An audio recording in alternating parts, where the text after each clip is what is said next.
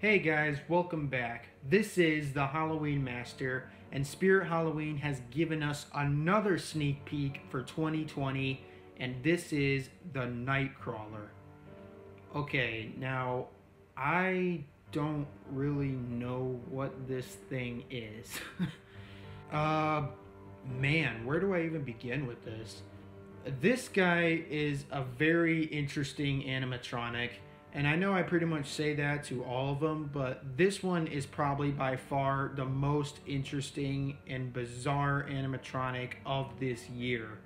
And probably the most weirdest animatronic I have ever seen before. So this is basically that long mouth monster that we saw in the teaser. And he is not at all what I expected. I expected him to be like a groundbreaker, but he is not a groundbreaker at all. He's actually on all fours. And his face is really creepy. You know, he's got those red eyes and the long jaw. And he also has a little bit of hair, too. I didn't notice that, but he has a little bit of hair, so that's a little interesting. But what's more interesting is that he doesn't have any feet, he has hands for feet. Yeah, the Nightcrawler, I have no idea what he's supposed to be he looks like some kind of ghoul skeleton monster spider thing. I'm not sure what he is.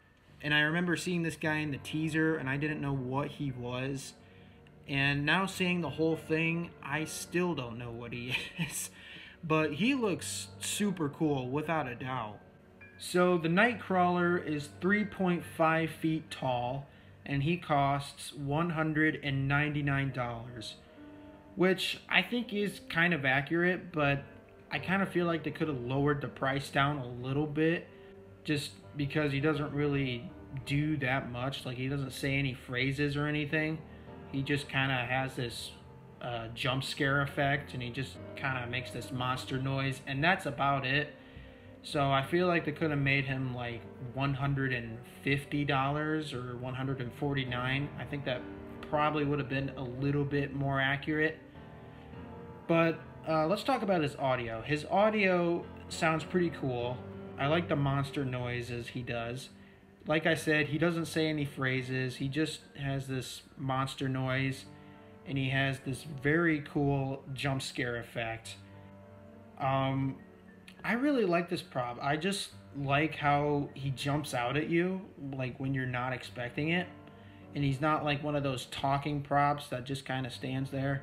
He is actually a jump scare prop, and he's just so different and he's so unique and he's just a very unique and different animatronic and that's one of the things I like about him. But I mostly want to hear your thoughts in the comments below. What do you guys think of the Nightcrawler? I'd really like to hear your guys' thoughts on the Nightcrawler down in the comments below.